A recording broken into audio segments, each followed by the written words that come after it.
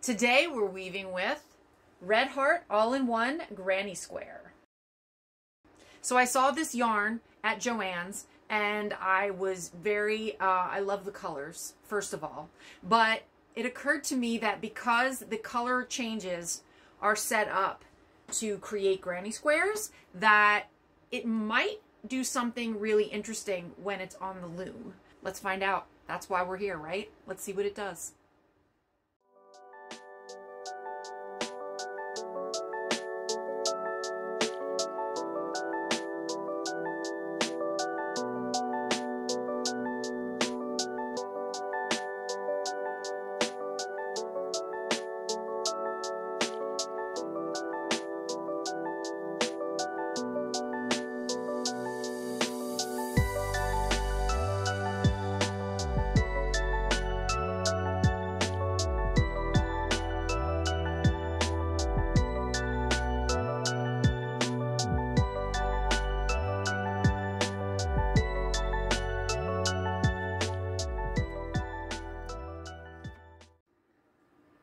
Okay, this is very exciting. Let's do this.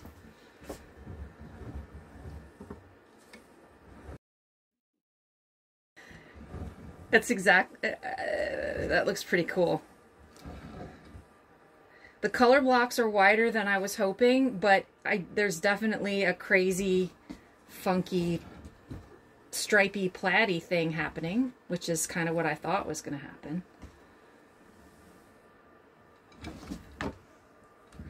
Okay, now we gotta fringe this thing.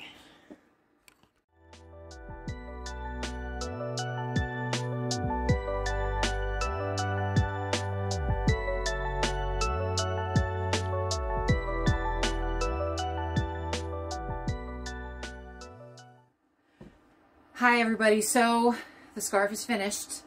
Um, I wanted to basic, I mean this is why we're all here. We want to see what it's going to do. So um, I think it's pretty cool, really.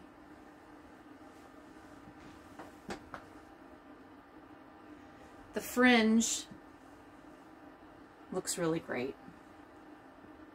One thing I will, I want to mention, the color bled when I was, uh, I wet, I wet blocked it, but you can see that the white is ever so slightly blue. Just it's subtle, but it definitely is slightly less white than it was before. So that's something that, you know, I thought I should should mention. Um, this is how much I had left. It was not very much.